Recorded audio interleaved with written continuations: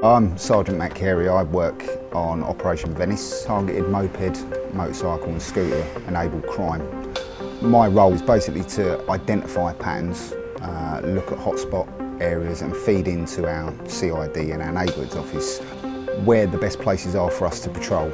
If we're looking from a crime prevention uh, perspective, I work with our neighbourhood officers, getting the message out there to members of the public about the usage of their phones, being aware of their surroundings so that they don't become a victim to a snatch or a robbery offence. In terms of the work we do alongside the CID, it is more about collating of images of offences that have occurred and looking to proactively target uh, suspects that are involved in these jobs and if it can't be done proactively it will be done reactively so we'll look at all the evidence that's come about off the back of an offence and look where we can uh, identify suspects from any forensic opportunities or any CCTV opportunities that we get.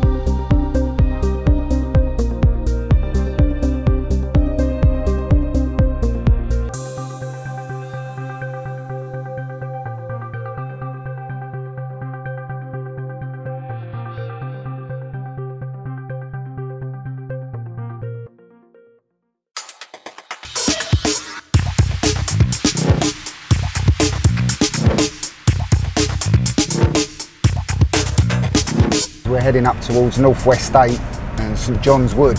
This is a particular hotspot of ours at the moment for uh, moped enabled crime. We've got a wide variety of perpetrators. They come from different demographics, from people that are trying to earn small amounts of money just to get by to organised crime in terms of bikes, etc. If they're looking at shipping them abroad and making their money that way, whether they're cutting them down into parts, selling them online, and then the same when it comes to stealing items from members of the public.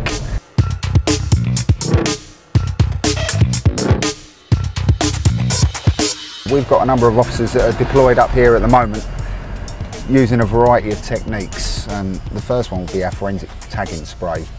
And as you can see, we'll use that. It's got its own unique code on it. So every time that it's deployed, we know which canister it's came out from and it's only, it can only be used once. We've got the Pro Spike, which is effectively a remote control uh, stinging device. And then we use things such as pinch points where we will identify routes where we know that bikes struggle to get through at speed. The area we're in now is susceptible to not only snatch offences where they're stealing mobile phones, going up on the pavement, removing items from people, but also for smash and grab offences. It is a very difficult crime type to deal with because of the speeds that some people can travel at and certainly the distance that can be covered in such a short period of time. So it's vitally important. The intelligence gathering is the best it can be and that includes intelligence fed into us from members of the public.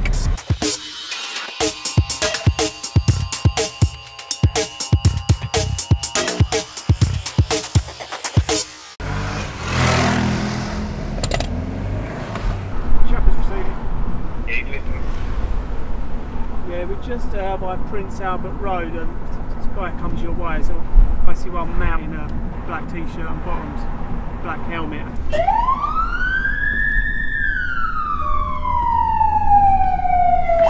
Chappers, you anywhere near Grove End Road at all? Stand with St John's Wood Terrace. He's gone for a, yeah. Go on then, he's at the traffic light. I think we're about two minutes away.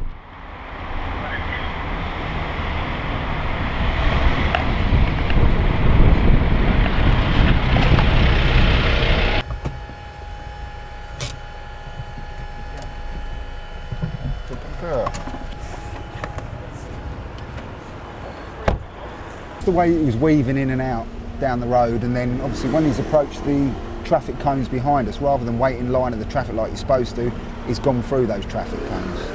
And to us, that is going to be suspicious because it's like you're trying to work your way through traffic, get away from something. On the opposite side of the bollards to get away, which is blocked off, which again makes you think he's probably trying to get away or get away from other cars. When someone says, "Oh, I just wanted to get through quicker," it kind of builds your grounds up as to well, why see Andy's doing his search now we'll, we'll, see what comes of it. Could be nothing, could be words of advice, could be an arrest, we don't know.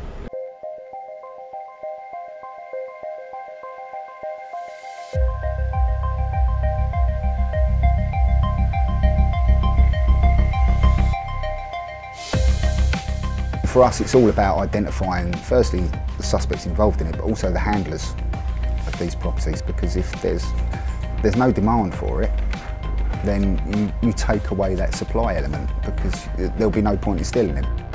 We'd strongly encourage people, if they've got any information regarding people in their area they see acting suspiciously on mopeds, motorcycles or scooters, to feed it into us because it helps us to identify areas where people are committing these offences or certainly when they're on their way to offences, where they're coming from. The intelligence picture is massive when it comes to moped-enabled crime, but yet we're only seeing a small percentage of it and we know that information's out there and we strongly encourage people to get in contact with us.